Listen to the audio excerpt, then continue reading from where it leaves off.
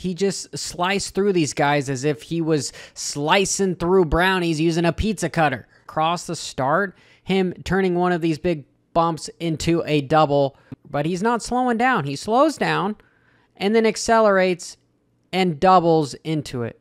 It's just beautifully executed.